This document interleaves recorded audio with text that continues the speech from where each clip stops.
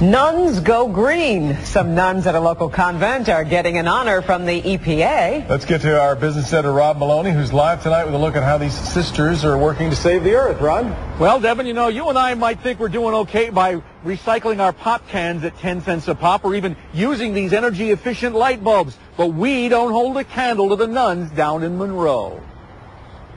Monroe's Sister Servants of the Immaculate Heart of Mary run an assisted living community for 200 retired nuns. It's sprawling, serene, and green. So green, the Environmental Protection Agency calls it one of the nation's best green projects. We're most grateful for it.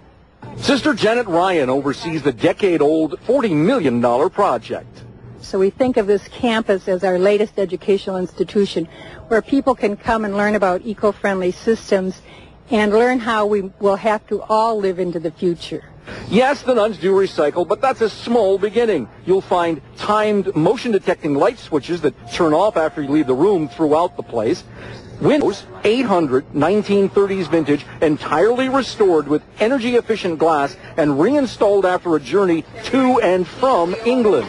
Uh, lessening the footprint, our humanity's footprint on the earth, and we wanted to uh, uh, recycle rather than and reuse rather than replace. There are miles of geothermal pipes for heating and cooling on one of the nation's largest private energy efficient systems. And to top it all off, a gray water wetland recycling system, taking sink and shower water outside to a filtering wetland and returning water to the building for use in toilets.